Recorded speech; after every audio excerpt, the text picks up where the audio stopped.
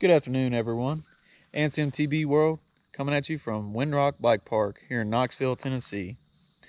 But today's video is not about Windrock. Today's video is about the preparation for tomorrow for Windrock. So today we're doing an upgrade, a little upgrade, on the Reign to get it ready for tomorrow. We came here, think last year in December, and it was just an epic fail. And I, I had plenty of recording of it, and this is why I didn't make the video.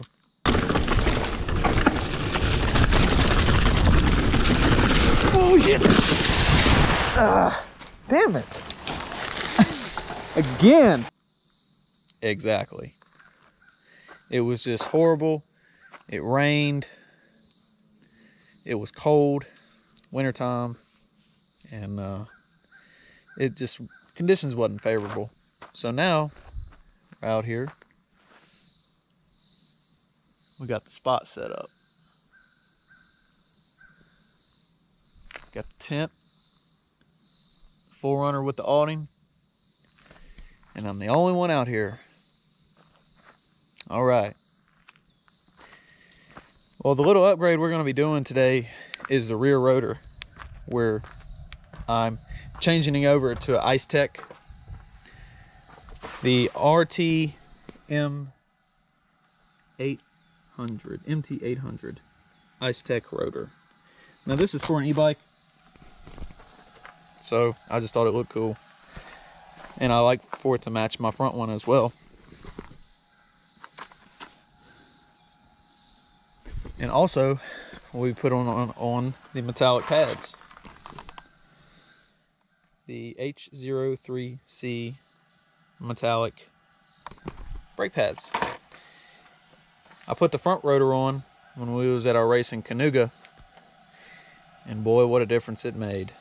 So before we go to Windrock tomorrow, before we go to the trails, we're changing that rotor now. So stay tuned and enjoy.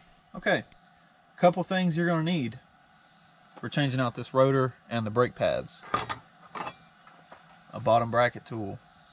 This is a cheap one I got off Amazon. It looks to be stamped aluminum. I'll put a link in the description for you. I used it to do with the front rotor. Worked perfectly. It does what it's supposed to do. I think it was only 10 bucks. Ice Tech rotor and the Shimano H03C pads. And we're gonna get started doing this. First step you wanna do is take your bottom bracket tool, find your lock ring on your wheel. This is your lock ring.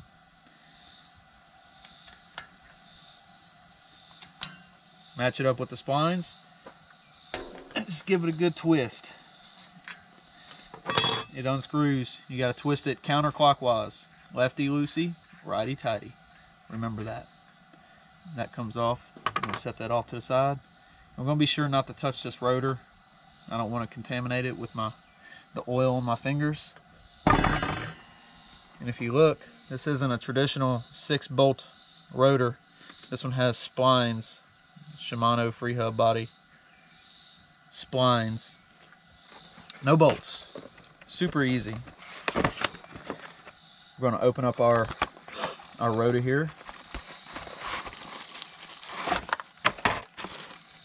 Be careful that we don't touch the the rotor and get oil on it off our fingers. And there's the new rotor. Make sure that your rotation is correct. Should have an arrow right here pointing to rotation. You want the face out. If yours has holes in the back, holes in it like this, that's the back. You, you don't want to put that on the front. You don't want this facing out. What you do is just simply put it on the splines like that. Make sure it's on there good. Take your new lock ring, came with the rotor and simply thread it on there.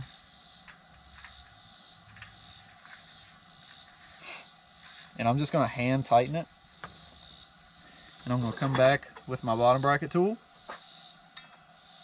Line up the splines. I don't have a torque wrench, so some of y'all might beat me up for that. But I'm just gonna feel for 40 Newton meters. 40 Newton meters. Done. I did this same technique with the front rotor. No problems.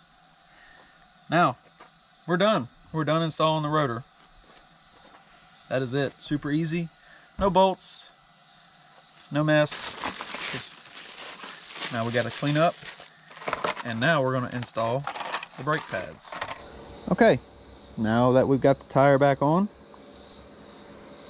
the wheel back on, tighten up the nuts on the caliper.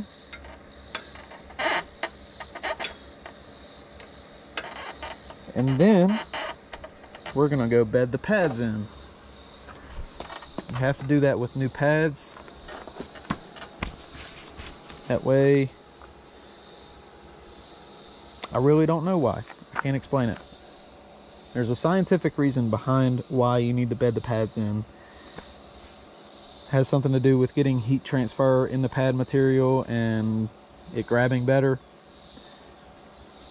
I don't know. So I'm going to show y'all how we're going to bed the pads in. All right, now we're going to go for a little ride on the bike to bed these brake pads in.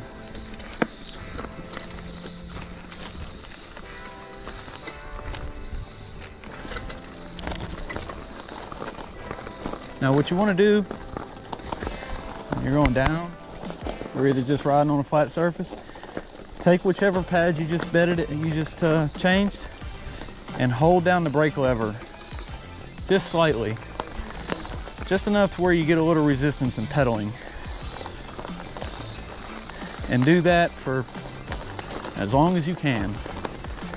And you'll feel the pads start grabbing more, grabbing more, grabbing more, and eventually get harder and harder to pedal. There's a pretty good hill right here. So I should get some, some good speed and be able to do it all in one, one set.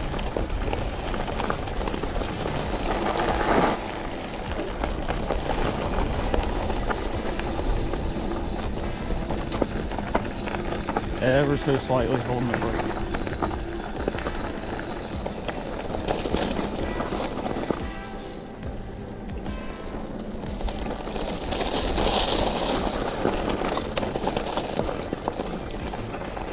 We're gonna climb this hill. All right, turkeys. And then we're gonna go back down it.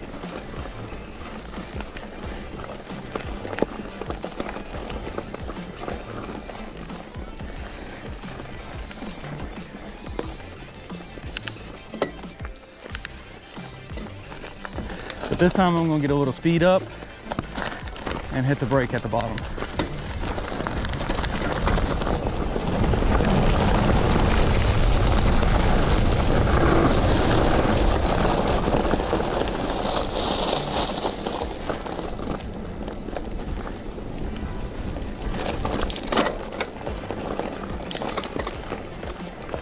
But what you don't want to do is lock up the brakes.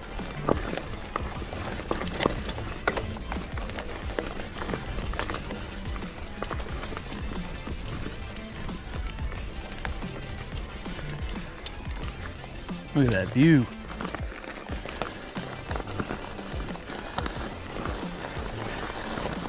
Such a pretty place.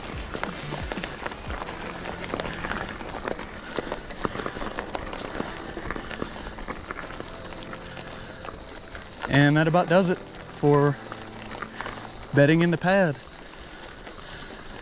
All right, let's go back to camp. All right, y'all, so that was the video on the brakes.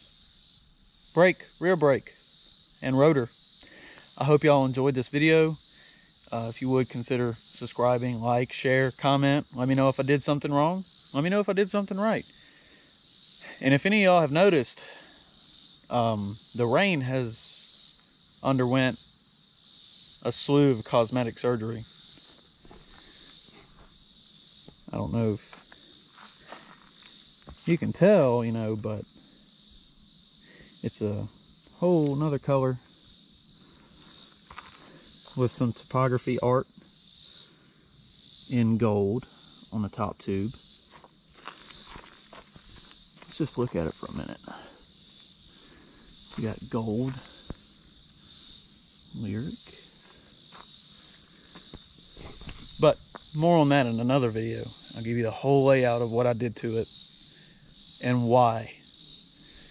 So I hope y'all enjoyed this video. Let me know what you think.